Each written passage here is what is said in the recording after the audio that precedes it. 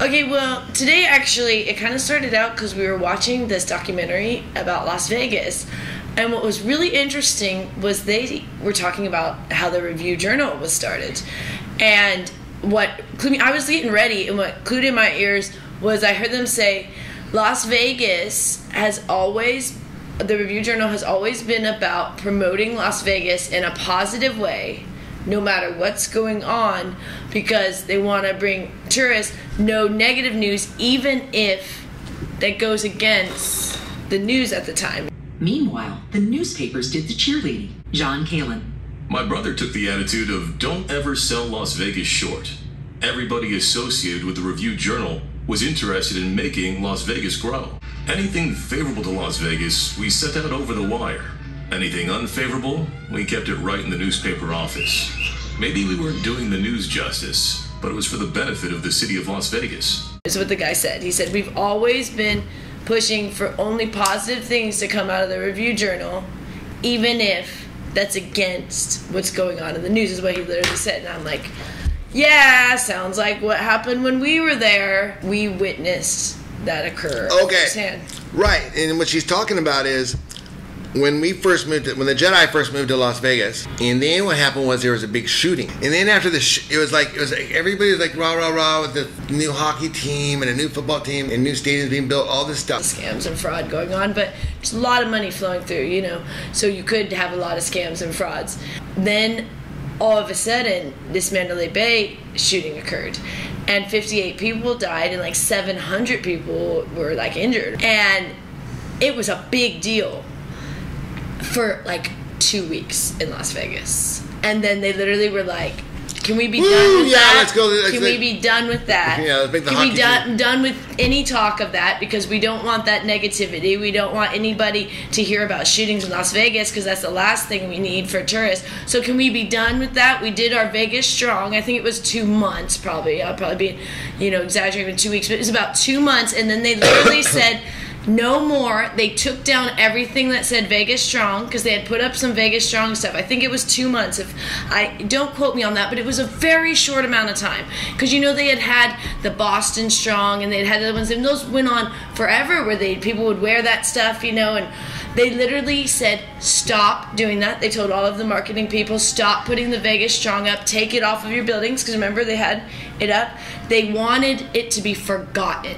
That was the mentality. And they even removed the crosses from the Las Vegas sign and put them as far away from the strip as they could. Way in like North Las Vegas. Vegas did not want negative publicity, even though 58 people had died. Okay, And say that it in a funny way. It sometimes you have to to me. have negative publicity. It, publicity. to me, it's very funny. You know Okay. how they say no news is negative news in a sense, like because it's still like you're still getting publicity, but they thought, oh, a shooting, no, we don't want that. But guess what? You can switch that. You even said people will Okay. go to the memorial here and come visit. Well, what I'm saying is, okay, you know how they say, like. No publicity is bad publicity. Yeah. And most people think that because you can usually like at least you're getting exposed and you can twist around. But they're like, well, How do you twist around? shooting at how do you twist around a shooting? So let's just stop talking about it. Right, like how do you how do you spin a shooting? And so Vegas said, well, let's do the thing that Boston Strong did when they had a terrorist attack. Well, this was not a terrorist attack. This was not the same thing. This was a tourist attack. Yeah. And the thing is, Vegas was so scared that their one source of income, which is tourists, were not going to come. And so they thought, we can't remind them to be scared of Vegas with a shooting. No one feels sorry for Vegas because Vegas has been scamming tourists for 50 years. Yeah, they always feel that they got ripped off in some way, whether it be the taxis, whether it be the um, resort fees, you know, they didn't know about, whatever the little ticky tack things that um, the parking fees now, you know, the things that they're like, oh man, you didn't account for of your normal allotted budget or what it showed on Expedia or something. Because Yeah. they, cause you get there and they're like, oh, now we're going to tack on $200 in resort fees. And you're like, what? And they do that kind of stuff all the time there. Right, and I heard that the Ar- Aria right now because are charging twenty five dollars for the bottled water in the room now. Yeah, like that's things like that. And then you're like, and you're and you're drunk or something. This is what happens. People get wasted and they use those things in the room, whether Mm-hmm. it be the snacks or the bottles of water. And yeah, and then they get charged, and each thing is like a fortune. You know, Right. It's so so the scam after scam. It used to be you could go to Vegas and get $1.99 steak and eggs. Well, the way they could do that was because you had one dude, and his name was usually Steve Wynn or Phil Ruffin or something like that. He owned a bar, and he owned a restaurant, so he could feed his gamblers. He even owned the, the, the, the rooms upstairs. So he owned the building, he owned everything. So if the gambler has lost $10,000, he's like, here, man, have, a, have some free eggs. In fact, everybody have free eggs. I just made $10,000 off this guy. And I own the eggs. I don't got to pay anybody else. what happened with Vegas is after the shooting, since they did not, um, they did not acknowledge that people had died, and there's a universal kind of karma that happened. So, for whatever reason, people stopped coming to Vegas. Um, primarily, probably for a minute, they did get a little scared. I mean, there was a random shooting of people at a concert. That's not good. And then, yeah, and then they just decided to kind of just drop it. And they also had a lot of issue with even paying of the people that were the families that were involved. I know there was a lot of Right. issues there. So there was a lot of negative, God, just like stuff going negative on, stuff. which then karma caused um, a downturn in Vegas. And what happened is they still wouldn't acknowledge that. The year, the year one and two after the shooting, they tried to say in all of the media platforms that it was their best numbers they'd ever had, which for one thing was kind of disrespectful, anyways, because the reason why we're emphasizing this is because basically the only thing that Vegas had to spin was showing you a billboard of a bunch of cute girls at a pool in bikinis, and you thought like, oh yeah, I'm gonna go to that pool. and There's gonna be a bunch of cute girls there.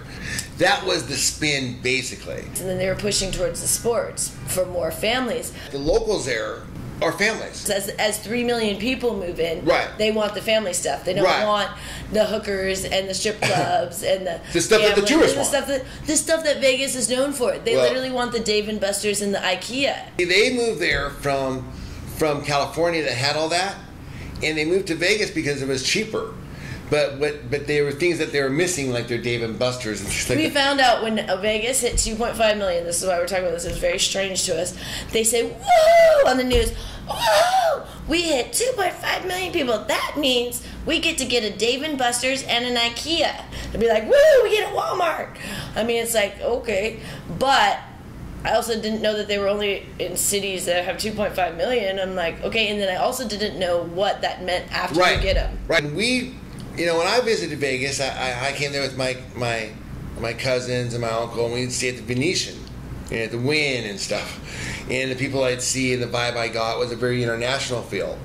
And when when we lived there, when we first got there, 2013, 2014. That everybody in the, in the, you know, even at the weeklies where we live in, there were cute girls, people from all over, people that spoke foreign languages right downstairs from Colombia, Yeah. uh, gorgeous women. I mean, Yeah. every remember that? Yeah, right. It, it, it- There was like three women and one guy, and they were always like in their panties with the windows. oh yeah, they didn't care, and it was just like, and, and, and, and everyone, and it was just such a weird vibe. We were like, we thought that's how it always was. Yeah. We thought that's what it was, and that's why we stayed there. And then what she's talking about is that after that, people started dispersing out. Right, and so what happened And, is and once they dispersed out, we started realizing that no, they weren't into the girls downstairs in the panties. They were. They don't like those people. They wanted the Dave and Buster's in the sports team. right, like the locals were happy when Vegas was less Sin City.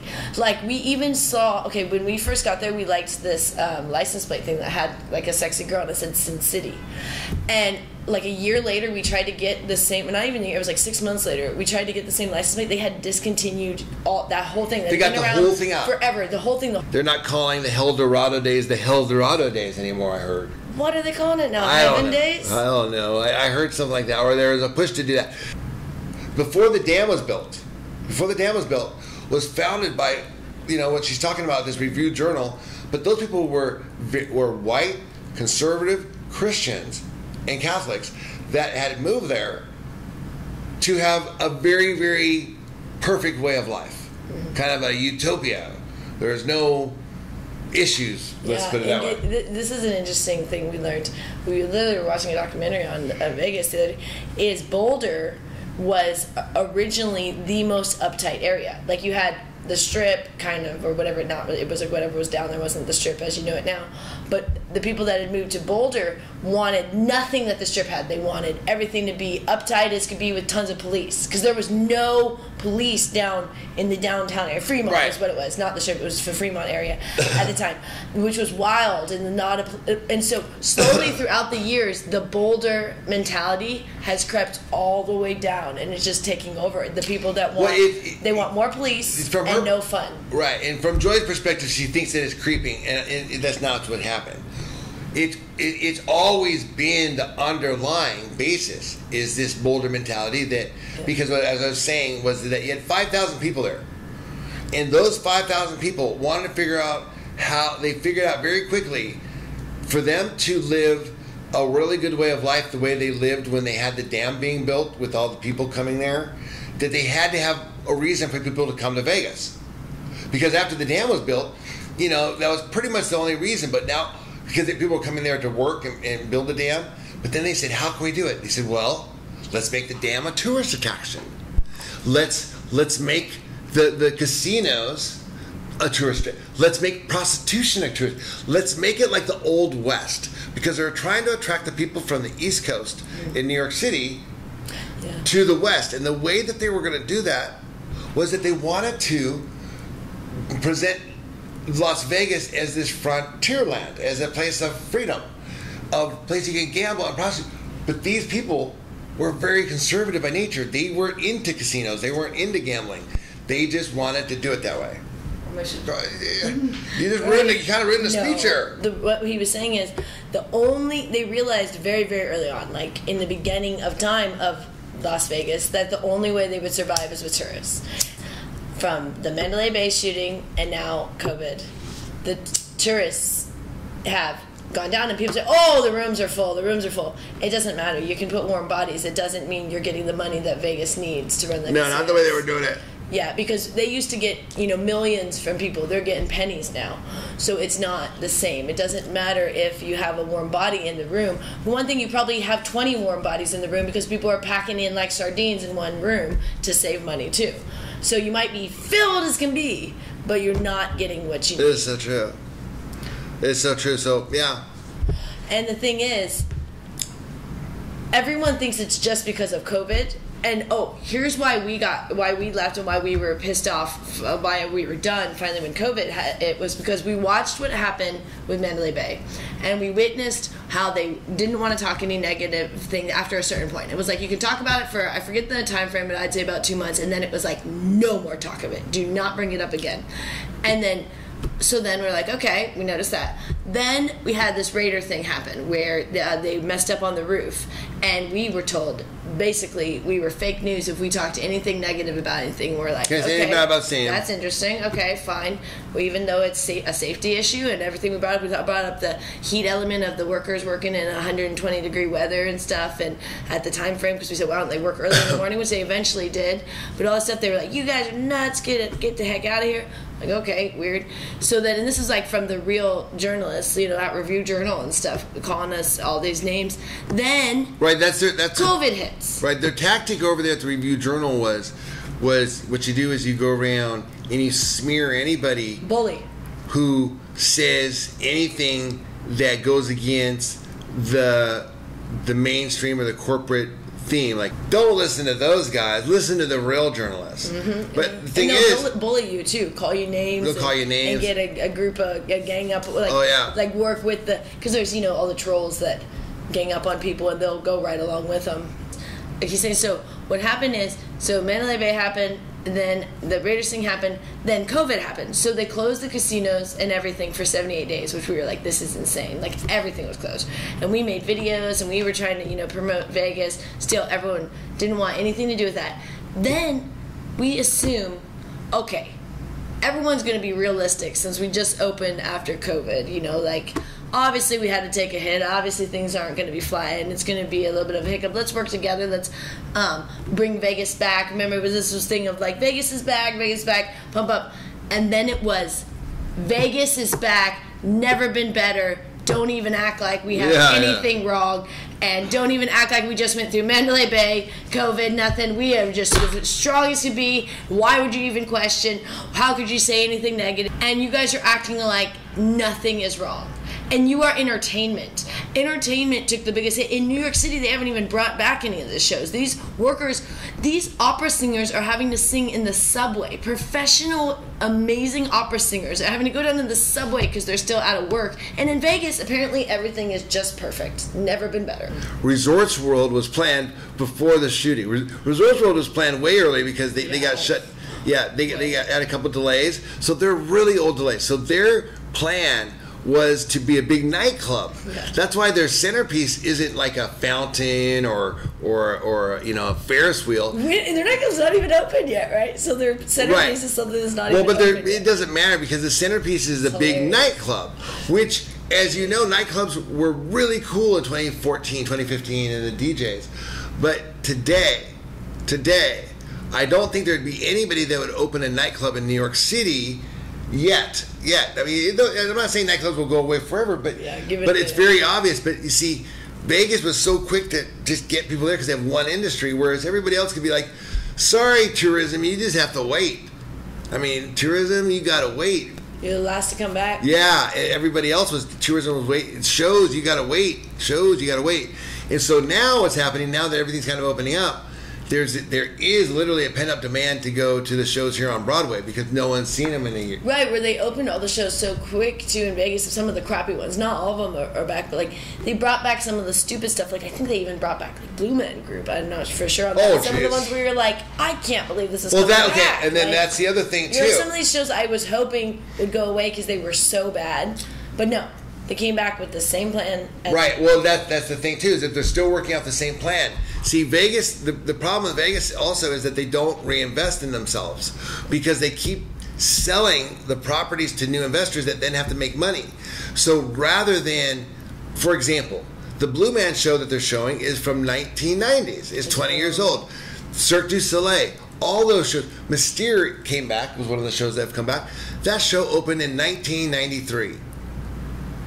O was opened in 2000s. There are no new new. Even if you open a new Cirque du Soleil, it's still a Cirque du Soleil. Yeah, like come up with a new concept for a. Right, like when Cirque. See, Steve Wynn was a concept man. He's gone now. But Steve Wynn was. So he came up, he said, hey, bring Cirque du Soleil to Vegas. And then that was a hit. And then he said, hey, bring EDM to Vegas. And that was a hit. And now what they're doing is they're just working off the old playbook that Steve Wynn left them, which is so they're. So they're. Uh, The reason why I laugh is because it's so funny to see, oh, look how good Vegas is doing. Allegiant is packed with people to see Guns N' Roses. Now, again, it'd be cool to see I didn't know all those guys were still alive. It'd be cool to see a stadium with that energy, but the fact is, is that Guns N' Roses in in, a, in, a, in that stadium crowd is not the same. That would be good extra on top of everything that was going on in 2014.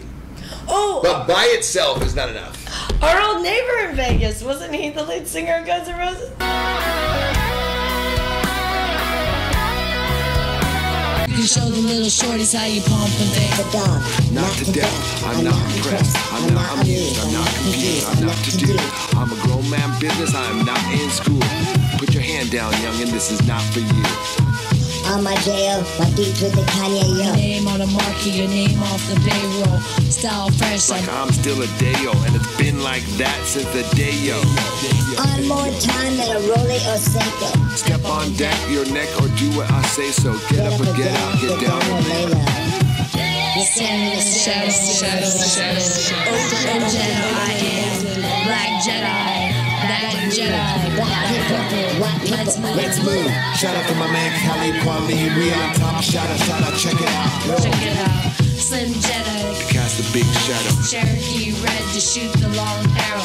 Got More skill, more aim, and more ammo. You can get it all from a big or small barrel like Hail Mary, full of grace, Jedi. Come and shoot up the place and make you pull up your face. The death. I pull out the ace from the jungles of the Empire State where there ain't no escape. 247. 718, and that's like every night, every day. From the place that I settle insane to the states, I'm collecting my pay. Blast off and I'm back to the cave. Hold it down for my family straight. Representing a family way. Football, not for amateur play. Ben Ross is an amateur stage before the press and the cameras raised. Like a long time man of the way, you understand me straight. Yeah, yeah, no doubt. Excellence. And that's what it is, you see.